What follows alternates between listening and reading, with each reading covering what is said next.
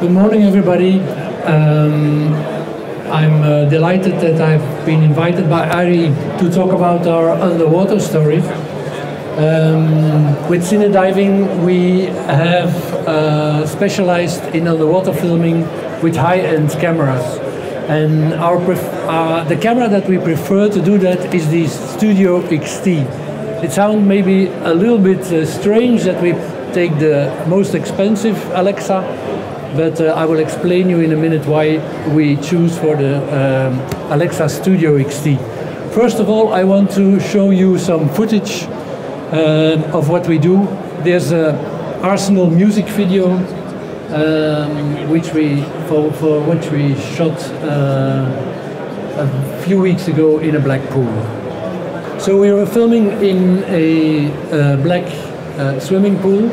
You see the singer Lydmor who is lipping um, her song underwater. Uh, we do that with an underwater speaker, um, so she can hear her music and uh, sing along with it. So this is shot with the with the Alexa Studio XT on ARRI RAW. RAW is very important for us because um, when you have no compression, you don't have the, ar the artifacts that uh, come along. And since the, um, the background underwater is really a gradient uh, with little subtle differences, once you have once you work with compression, you have um, quite fast artifacts when you do um, grading. So that's why we that's why we chose. Uh, to, to use ARRI RAW. So what do we need for uh, to shoot this video? First of all, a big black swimming pool. We are very happy that in Belgium we have a big studio of uh, 3,000 square meters, and there's a pool of 25 by 20 uh, by 35 meters, all black, and uh, very practical to work in. And so that's uh, that's our uh, that we are lucky that we can we can have it and we can use it there. So we have a black pool. We have a team, of course. The team is really very important. First of all, you see the the, the singer here. Um, Tommy is my my uh, co-diver, uh, camera operator, and diver, and uh, he's training the artist. This is very very important. First thing that comes along that is that people do not behave normally, uh, naturally underwater. So you have to train them. And Tommy is very experienced freediver, so he can um, uh, train the, the, the, actors and the, in this case the singer to be really at ease, to open the eyes uh, and to breathe, uh, not breathing underwater, but to, to, to uh, stop breathing and to to, to behave very natural without panicking. So that's a really big aspect in all the work that we do. Of course, we need safety divers and people at the shore. Uh, our system works with a multi-cable. So I will, of course, we first of all the lighting. You need some lighting. Here we have uh, a big uh, screen which we lit from uh, with uh, X lights, the ARRI X Light 6K uh, on uh, flicker-free ballasts, on high-speed ballasts, and the M90 as the main source for the for the beams coming into the water. And then, of course, the camera system. So here you see myself operating the camera, and that's Bert, my gaffer, underwater gaffer. So all also the gaffers have to have to be divers, or part of them have to be divers. And you see the camera, we have a multi-cable of 45 meters and this multi-cable gives us the power from the surface, so we don't have to stop to change batteries, very important. We have um, HD monitoring going up in this multi-cable. We have the full lens control, iris, uh, focus and zoom, and we have the RCU4. The RCU4 gives us the opportunity to have full um, contact, full control over the, the camera. And now we come to the point that why a Studio XT? The Studio XT has uh, integrated IRND filter 1.2 and we can pilot this filter, we can control it from surface by pushing the button. So that means that we can work with, with uh, open DF when we put the filter, and once we go down on the water and it becomes too dark, we can release it by pushing the button without stopping uh, to get the camera out and change filters. This is really important. The autonomy, the autonomy uh, underwater is very high in our system, and this is important because uh, often uh, actors can only act underwater for a very limited time. So, for example, 20 minutes in, in 18 degrees of water, when we go in the Mediterranean Sea or something, we have 18 or 20 degrees, and an actor without protection, he can uh, act for 15 or 20 minutes. And in this 20 minutes, it's not us as a technical team who will say, stop, we have to change batteries, or stop, we have to change the card, or uh, sorry, we have a little bit of dust in the in the uh, housing. So this is not the way we work. So we have to be take care that we work for a long time underwater, that we can stay the whole day in the water, that the camera is not overheating, and this, is what we pay attention for. So we have uh, systems for that, that we can keep on shooting without trouble. Um, I show you, yeah, this is the, so why I, we chose for the Alexa Studio XT. First of all, you have the image quality and the real cinematic look. You have really the, the cinema feeling, not a video, uh, video image. You have the real 14 stops of latitude. This is very important on the water because uh, we also do surface uh, shoots where we go, where we're filming in the sun and we go down and suddenly you lose two stops. So when your camera has 14 stops of latitude, you can really keep on shooting without problem. And our assistant can adjust uh, the DF, and it's not, if it's the iris. So if it's not precise for one for one stop, we can still uh, correct it afterwards. So the ARRIRAW is uncompressed 12 bit.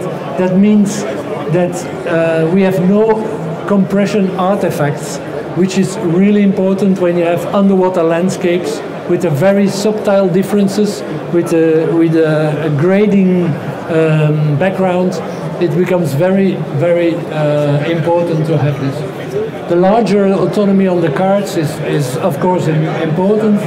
The higher resolution makes resizing possible in many cases.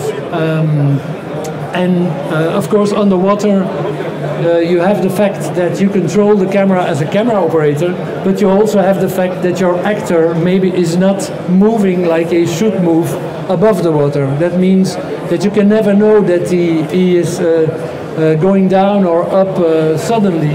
So that's why in post production, this reframing, this resizing can be very important. Uh, the color and the exposure index uh, we can adapt in post-production, I told you, and then of course uh, we have the IR and D filter 1.3 which we can uh, switch on and off on surface. So this is, this is a very nice thing to have. I show you some more footage. Sorry. We shot this in our black uh, swimming pool as well a fashion model on the water. Uh, Tommy was there uh, to uh, to learn her act on the water. When she came in the morning, she was going under for the first time and was uh, had a face which was not relaxed. Uh, she couldn't keep her breath very long, and we trained her to keep her to keep her breath uh, about one minute, and so we can shoot with her. The lighting that you see is a tungsten lighting and uh, it became green because of the water filtering. Fil water is filtering the, um, the light, the blue light, uh, the red light out. So what remains is blue light or green light. So if you filter, if you have a tungsten bulb and you put it on 20 meters, it's a green light. So uh, and we liked it, so we used it. So um, that's nice. Uh, the fast lighting, so that's a, that's a tungsten par there. and uh, the front light, the fill light, is a tungsten source that we put uh, above the water uh, on a reflector on the water. So we didn't have, uh, uh, in this case, we didn't have lighting on the front on the water, but only a reflector. So that's our fashion shoot. The optics on the water are really behaving completely different than above the water. So we use standard um, lightweight zoom, ARRI um, Zeiss lightweight zoom, uh, because of its very short uh, MOD. The minimum object distance on the water becomes uh, uh, really much longer when you combine it with, uh, with dome port. So uh, with this lightweight zoom, we, uh, we, it has an MOD of 45, and this becomes about 80 centimeters um, of minimum distance on the water. If you take the other uh, smaller uh, zoom lenses with 60 uh, centimeters of MOD, this becomes suddenly uh, a few meters underwater. So it's, it's a really, really important that you have the right optics underwater. We can film with a dome port or a flat port. In fact, with the flat port we have uh, we, we solve a lot of problems for uh, chromatic aberrations at the site and we solve the problem that you're zooming in your lens. If you use a, a flat port, you will zoom about 30% uh, more tele um, and some people like that effect, that's why we use a flat port some, sometimes to, for surface work. So when we're on surface and we're going down and suddenly the actor comes 30% closer, uh, this effect sometimes is uh, wanted by the director of the, or the DP, and so we can offer it. So optics underwater is a completely uh, other world than above the water. That's why it's also important to have the HD monitoring uh, on the surface and a focus puller at the uh, full HD monitoring uh, to do the focus right. I will show you some surface work. So this is with available light, no added lights. We're in the morning um, with the morning sun and um, camera half-half. And so you can see that we have immediately our actor underwater without any uh, additional lighting. We can film it and without too much um, grading, we have immediately uh, a good effect because of the 14 stops of latitude. So this is um, this is really nice. Uh, there are a lot of underwater systems with little sensors, and of course, they don't have the advantage of the filmic uh, image that we can deliver with uh, with a very uh, narrow depth of field. And of course also the all these systems have compression and this is uh, a real big problem for feature film. So this is why we use this uh, this camera. Here we're on the bottom of the lake. And our Tommy is now showing that he can keep his breath for a long time even uh, descending uh, eight meters on the water so that was my story about our daily work. If you have any questions, feel, please feel free to ask. Um, thank you for your attention and uh, see you soon. I hopefully uh, I hope that we can work for you underwater. Thank you.